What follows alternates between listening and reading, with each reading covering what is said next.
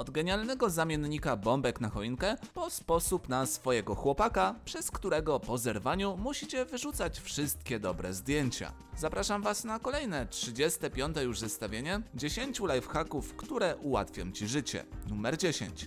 Tym roku już może za późno, ale w przyszłym rozważcie zastąpienie bombek na choince cukierkami. Jak twierdzi autor zdjęcia, taka choinka jest nie tylko kotoodporna, ale i znacznie przyjemniejsza w rozbieraniu. Zamiast bawić się w ściąganie, układanie i chowanie dekoracji, wystarczy, że je zjecie. Numer 9.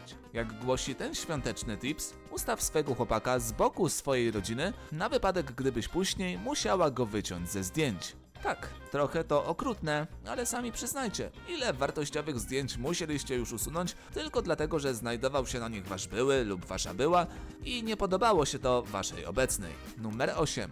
Jeśli z powodu izolacji czujecie się przygnębieni i osamotnieni, spróbujcie przestawić się z normalnych piosenek na nagrania z koncertów na żywo. Odgłosy publiczności, oklaski czy interakcje artysty naprawdę potrafią zdziałać cuda i skutecznie podnieść was na duchu. Dzięki nim możecie się poczuć, jakbyście nie byli już sami. Numer 7. Szkoda wam marnować wosku na dnie świeczki, szczególnie gdy jest zapachowa. Po prostu wlejcie do niej wrzącą wodę. Wosk rozpuści się i uniesie się na powierzchnię. Po zaschnięciu uformuje idealny krążek, który wystarczy nakłuć i nałożyć na kolejną świeczkę. Numer 6.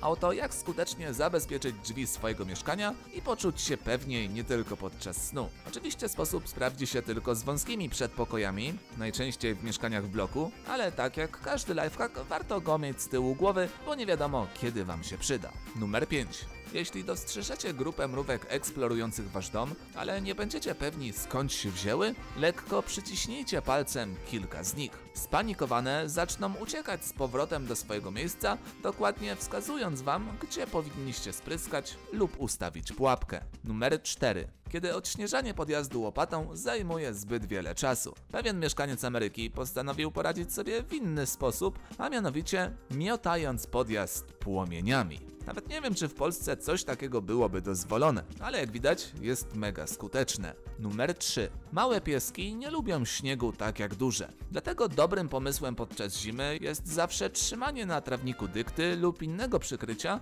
tak aby wasz mały pieseł zawsze miał trochę trawki, aby bez problemu się wysikać. Numer 2. Toster nie działa? Żaden problem. Po prostu umieśćcie nad kuchenką elektryczną metalowy durszlak, a na durszlaku kromkę pieczywa tostowego. I zdziwiłbym się, gdybyście już nigdy nie wrócili do tradycyjnego opiekacza. Numer 1. Przyczepcie do wentylatora kijek z prowizoryczną łapką wykonaną z kartonu, a wasz wiatrak nie tylko was ochłodzi i zapewni orzeźwienie w ciepłe dni, ale również podrapie was po plecach i zrelaksuje. Lifehack nie tylko dla Forever Elonów.